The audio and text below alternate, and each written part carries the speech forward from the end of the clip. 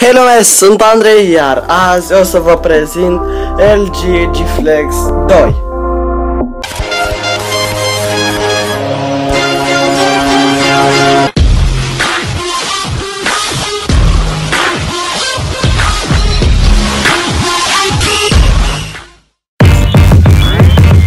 Damn.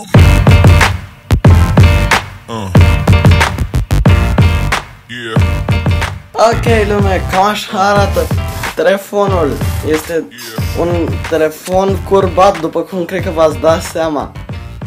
Este unul dintre cele mai interesante smartphone-uri ale momentului. Da, spun interesant și nu neapărat performant, deși este și performant, dar telefonul nu asta își dorește până la urmă. Este un telefon curbat de 5,55 care este produs de LG. Da, uh, ne-am obișnuit uh, de la LG să facă lucruri de calitate și asta nu este un lucru rău, ba din potrivă, este un lucru chiar bun. Este un telefon cu un design din plastic, dar acest plastic nu este orice fel de plastic. Acest telefon a fost gândit să fie rezistent. Vedeți butoanele de pe spate care ci că nu ar trebui să se apese atunci când stă pe masă. Și am observat că asta funcționează. Are no code, toate feature-urile de la LG și vine din fabrică cu stați să vedem cu software update no.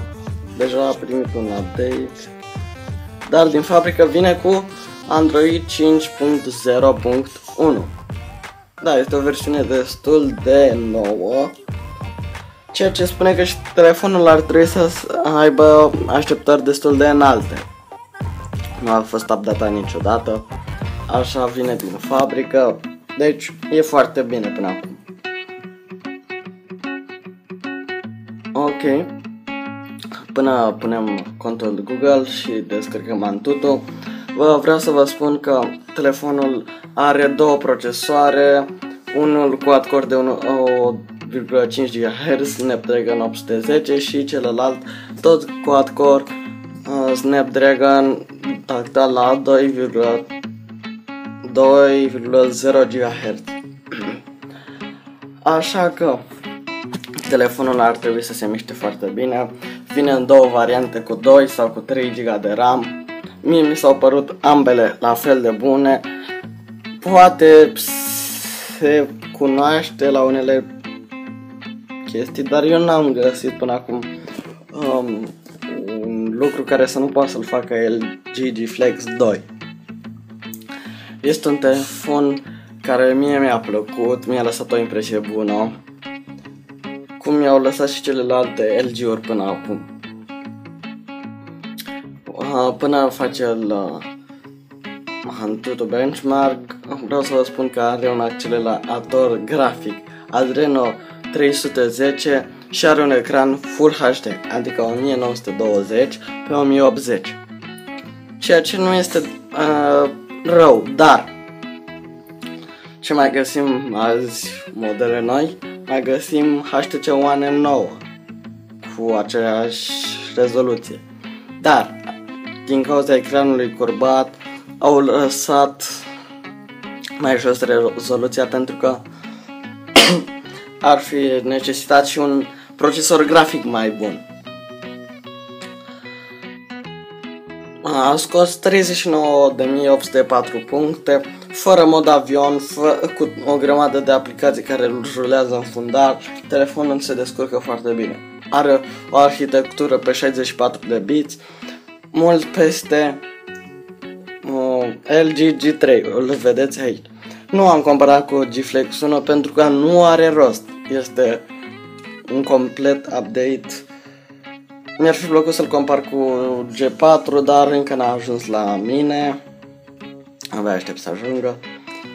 Uh, acesta este ca camera cu laser focus, o cameră de 13 megapixeli care se descurcă foarte bine. Are foarte multe moduri, este o, o aplicație dezvoltată bine de cei de la LG. Filmează 4K în 200 în uh, 30 de frame-uri pe secundă și Full HD, adică 1920 pe 1080 în 60 de frame-uri pe secundă. Din punct de vedere al filmării se descurcă foarte bine. Este un telefon care se ridică la așteptările mele cu camera frontală. Adică camera de pe spate. Cea frontală este cel mai bun, în cel mai bun caz, mediocră.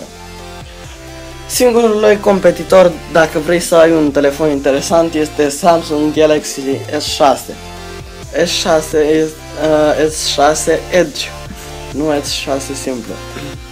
Are un ecran curbat pe margini, uh, probabil că îl știți. Pe ambele le găsiți la Media Galaxy, LG G Flex îl găsiți la prețul de 2600 aproximativ de lei și uh, S6 Edge îl găsiți la 3700 de lei. Prețuri sunt uh, foarte, foarte bune pentru aceste telefoane.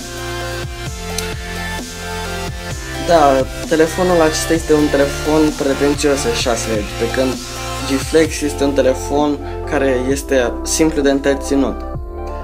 Rămâne decizia voastră ce o să alegeți, lăsați un comentariu cu ce ați alege și până data viitoare nu uitați să dați un like, un share, un subscribe. Și vreau să le mulțumesc celor de la Media Galaxy pentru telefon și lui Petrica pentru filmare.